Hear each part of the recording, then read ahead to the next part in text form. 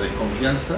de unos hacia otros, la falta de cohesión de una sociedad, la falta de un proyecto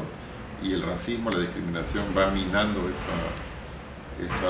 esa, esa, unidad que necesitamos. Eh, acaba de salir un libro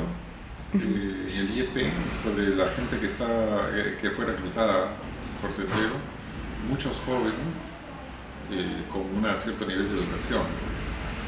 este, que no tenían bueno, una respuesta del Estado, una respuesta, digamos, de, de la sociedad.